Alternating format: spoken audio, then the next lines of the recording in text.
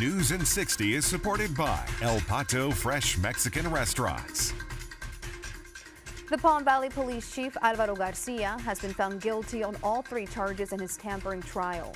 Prosecutors say he falsified paperwork that he submitted about a police training course he taught. He's facing up to 10 years in prison. He'll be sentenced on March 21st. $6 million in grant money is coming to UTRGV. It's going to be used for cancer research at the South Texas Center of Excellence.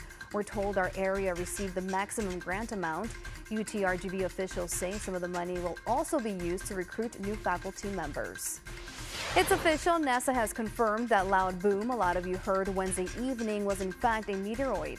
NASA says it was about two feet in diameter and weighed about 8,000 pounds. They say smaller pieces of it likely hit the ground. Thankfully, no injuries or property damage was reported. Turning now to weather, it's going to be cool and breezy today. Highs will be in the 60s with winds gusting up to 25 miles per hour. That's News in 60. Have a great day. News in 60 is supported by El Pato Fresh Mexican Restaurants.